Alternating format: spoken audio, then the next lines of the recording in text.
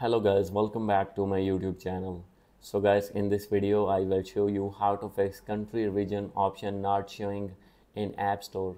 So guys if you are using iphone or ipad or other ios device and when you try to change country or region from your app store and you will see that country region option not showing or not available.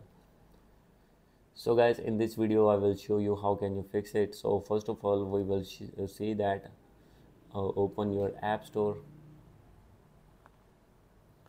click on main profile and click on your account.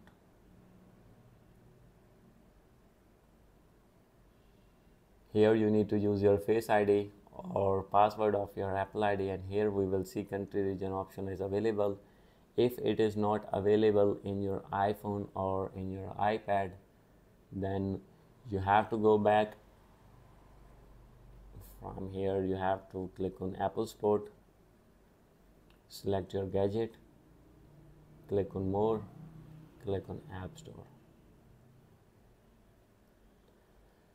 And after this click on call and you need to call at these numbers and you have to tell your problem and they will respond to you and they will fix your problem. So guys hope you like this video. If you like this video please do subscribe my channel. Thank you